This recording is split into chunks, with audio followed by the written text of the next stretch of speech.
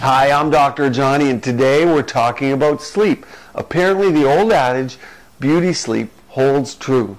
A study presented three months ago over in Scotland looked at sleeping habits and skin quality.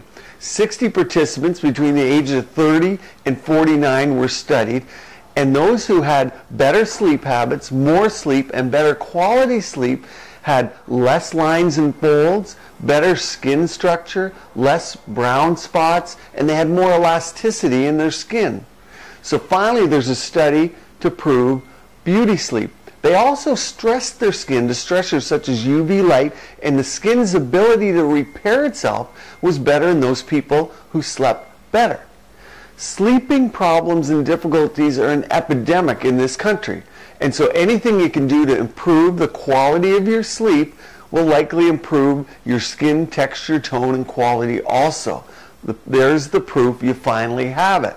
Luckily, we're in a day and age where we have great skincare topicals and neuromodulators and fillers to also help us along for those of us who don't get a lot of sleep or good sleep.